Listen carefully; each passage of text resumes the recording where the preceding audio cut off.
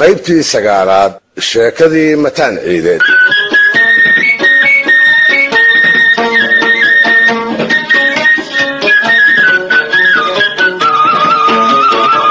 Dhegaystayaal si ay sheekadu isugu keen xiranto aan idiin soo koobo qaybaheedii ugu dambeeyee markii uu xumeeyey markii uu canjarafeeyey iyada iyo hooyadeedba markuu aflagaadeeyey kadib raggii ay salaada ka dhalatay waatay garaarta kaga dhegtay maantaana jifadii uu mataan ahaa waatay ugu ergeeyeen inuu gabadha madaxeeda u sii daayo. Sidaana lagu kala nabad galo. Taana waatuu ku shardiyey in loo soo noqo xoolihii yaradka ahaa ee uu ka bixin jiray oo dhagadhan muggii xoolaha loo keenayna waatuu meel fagaara ah gabadhii ku furay.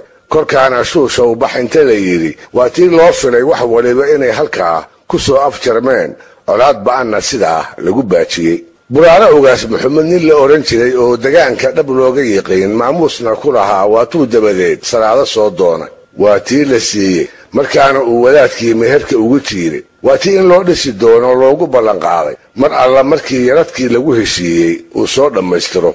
Ha yeeshee maalmo kooban kadib waa tii candhuuftii dib loo liqay kolkii war cusub oo aan lagu farxini uu mataan ka soo yeedhay kolkuu af muggii ku shaaciyey inaannu salaado furin isaga oo sababtana ku sheegay inaan weli loo keenin. Afar neef oo saddexna ay geel ahayd midna uu faras ahaayo yaradkii loo soo noqay ka harsanaa ayna ahayd in loo keeno taasise wax weyn ma ahaynoo? Wax laga xaajoon kara ayay ahayde waatuu raaciye weedhii laga wada yaabayay ahayd. Xataa haddaan furo nin salaado guursan karaa ma jiro. Gabar uu mar meher igu dhacayna nin hawaysan karaa. Ifka ma saara.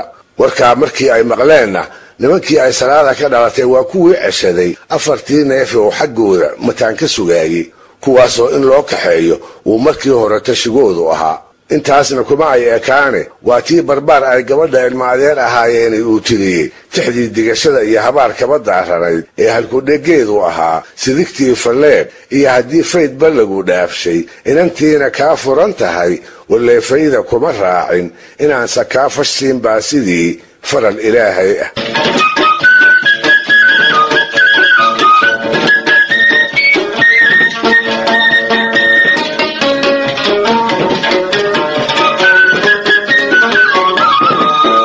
mataan ciideed maalintii uu tixdaa maqlay maalintii ku afar ahayd ayuu geedkii shirka oo lagu dhan yahay isa soo taagay isaga oo fardihiisii midkood ku jooga raggii meesha fadhiyey kolkii ay arkeen sibraarka uu caanaha geela ka soo milaalay hilbaha saafka ah ee qalqalaha uu ka soo buuxsaday iyo qalabka kale ee sangaha u saaran ayay garteen in sudcaal ku jiro waxna uu maagan yahay mataanow maanta halkeebaad boqoolo u tahay markii la weydiiyeyna wuxuu ku jawaabay inuu u socdo reerihii ay salaada ka dhalatay ee ay markaa ku sugnayd. Wuxuu ku daray waa la ii dhaartaye in la idili karo iyo in kale ayaan soo hubsanayaa. Amankaag iyo afkaraqaad baa lala kala jeestay. Yaabba raggii oo idil hadal kala soo bixi waaye. Nin laga quustay buu ahaaye waayeelladii goobta joogay wax waana ah uma ay soo jeedin. Hase ahaatee kolkuu inta nadigii u baaciyey uu faraskii jeediyey ayaa kuray goobta wax ka fadhiyey wuxuu ku yidhi mataanow maxaad reer hebel ka dooni intuu carabka ku dhuftay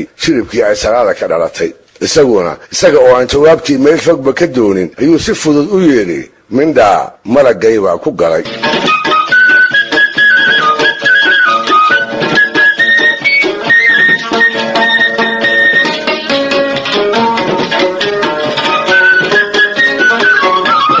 maalintii dambe goor ay barqadii tahay ayuu ku soo baxay degmadii uu ku socday. Meel kale kuma uu leexan leh aqalkii salaada ku jirtay oo uu soo tilmaansaday ayuu beegsaday. Geed ku yaal aqallada duleedkoodana qaafadii reeraha ayaa shiran ku ahayd. Wuu arkay kumase uu leexanoo dan iyo heella kamuu yeelanne wuu garab maray. Isagiina waa la milicsaday war ninka meesha maraya ee ina hareer maray waa kuma. Ayay isweydiiyeen. Wuu hagoogan yahay. Afkuu taagayaa labadii waran ee xaasawda lahaa. Kal horena bullaxaar laga soo gaday ayuu isku garaacayaayo dhalow dhalow kaga siinaya.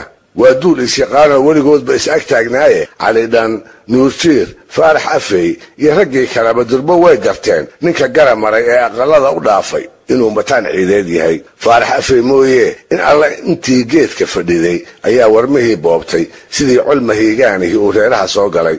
Indhaha ayaa lala sii raacay. Aqalkii salaada ku jirtay oo uu soo tilmaansaday ayay saantiisu u jeedaa qoor xero waa kaa daraq yidhi oo sidii nin ay ooriyi u joogto kalsoonida ku galay. Taasi hadday dhacday kolka maweesaa dhowran niman mar afar lagu sheegay marna shan lagu sheegay oo cadhidhan ku jiro ayaa isku markacayoo qarabkoodii qaatay. Mid walba hubkiisa waxaa ka mid ah hooto dhagaley ah. Sidii lagu yiqiin faarax afey ayaa isku dayey maantaana inuu baajiyo dhiig sokeeye oo lama horaan loo wada arkay. Raggii gadooday ayuu damcay inuu qaboojiyo oo umalka saaqay uu biyo ku duldaadsho wuxuu ku yidhi ilma adeerayaalow wiilkaasi dhiil buu lulaya yaan lagu dayanoo gardarradiisa yaan loo raacin